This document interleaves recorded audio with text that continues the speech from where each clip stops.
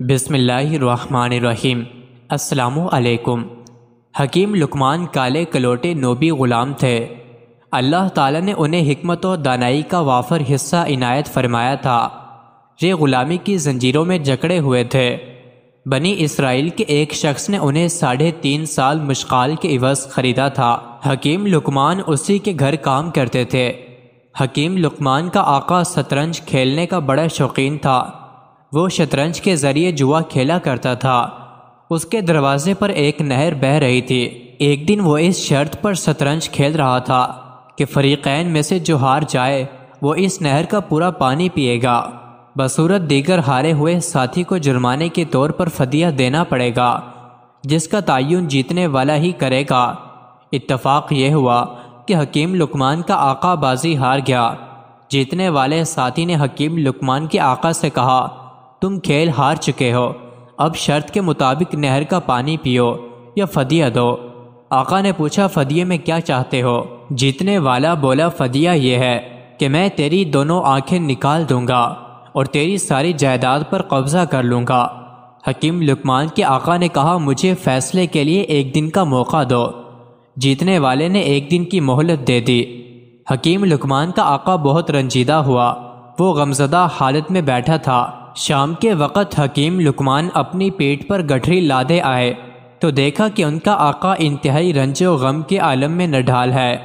हकीम लुकमान ने आका को सलाम किया पीठ से बोझ उतारा और आका की खिदमत में बैठ गए। उनके आका का मामूल था कि जब भी वो उसकी खिदमत में हाजिर होते, वो उनकी हिकमत भरी बातें सुनता और उन्हें महफूज कर लेता। मगर आज आका मुँह लटकाए मायूस बैठा था। हकीम लुकमान ने अर्ज़ किया, आका, क्या माजरा है? आप अफसरदा क्यों बैठे हैं? आका ने ग़ुलाम की बात पर कोई तवज्जा नहीं दी और अपना रुख फेर लिया। हकीम लुकमान ने दूसरी और तीसरी दफ़ा अपनी बात दोहराई, मगर आका ने उनसे कोई बात नहीं की। बिल आखिर हकीम लुकमान ने ज़ोर देकर पूछा, आका, आखिर आप इस कदर गुमसुम क्यों बैठे हैं? अपने दर्द का इजहार करें। अगर मैं आपके दर्द का मदावा नहीं बन सकता तो इस दर्द में शरीक तो ज़रूर हो सकता हूँ। बल्कि ये भी मुमकिन है कि आपकी संगीन परेशानी हल करने का मेरे पास कोई नुस्खा निकल आए, जो आपके हक में मुफीद साबित हो। आका ने यह बात सुनकर उन्हें अपने शदीद रंजो गम का सबब बतला दिया। पूरी दास्तान सुनने के बाद हकीम लुकमान ने तसल्ली दी। आप बिल्कुल गम न करें। मेरे पास इस शर्त से निकलने का तरीका मौजूद है। आका ने बेताबी से पूछा, वो कौन सा तरीका है? हकीम लुकमान ने समझाया जब वो जीतने वाला आदमी आपके पास आए और कहे कि इस नहर का पानी पियो तो आप उससे इत्मीनान से पूछें कि नहर के दोनों किनारों के दरमियान वाला पानी पीऊँ या पहाड़ की तरफ़ का पानी पीऊँ? आपका ये सवाल सुनकर वो लाजमन ये कहेगा कि दोनों किनारों के दरमियानी हिस्से का पानी पियो। जब वो ये कहे तो आप उससे फ़ौरन कहें, ठीक है, मैं नहर के दोनों किनारों के दरमियानी हिस्से का पानी पीऊँगा, मगर पहले तुम बहाव को रोको, ताकि मैं पानी पी लूँ।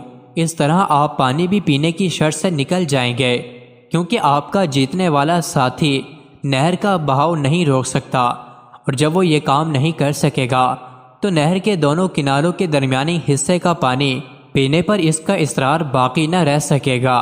यूँ आपको छुटकारा मिल जाएगा। आका को दानशमंद ग़ुलाम की तरकीब बड़ी अच्छी लगी और उसके दिल को कदर सकून मिला। अगले दिन सुबह उसका साथी आया। उसने मुतालबा किया कि मेरी शर्त पूरी करो। आका ने कहा, बहुत अच्छा। पहले ये बताओ कि नहर के दोनों किनारों के दरमियानी हिस्से का पानी पीऊँ या बहाव वाले हिस्से का? साथी ने कहा, किनारों के दरमियानी हिस्से का पानी पियो। आका ने कहा, बहुत अच्छा। अब तुम यूँ करो कि पहले नहर का बहाव रखो, ताकि मैं तुम्हारी शर्त पूरी कर सकूँ। साथी बोला, तुम क्या कह रहे हो? क्या ये मेरे लिए मुमकिन है? आका ने कहा, फिर हमारी शर्त भी ख़त्म हो गई। यूँ ये मामला बखैर खूबी ख़त्म हो गया। आका बड़ा खुश हुआ और उस खुशी में उसने हकीम लुकमान को आज़ाद कर दिया। मज़ीद ऐसे ही वीडियोस के लिए चैनल को ज़रूर सब्सक्राइब करें।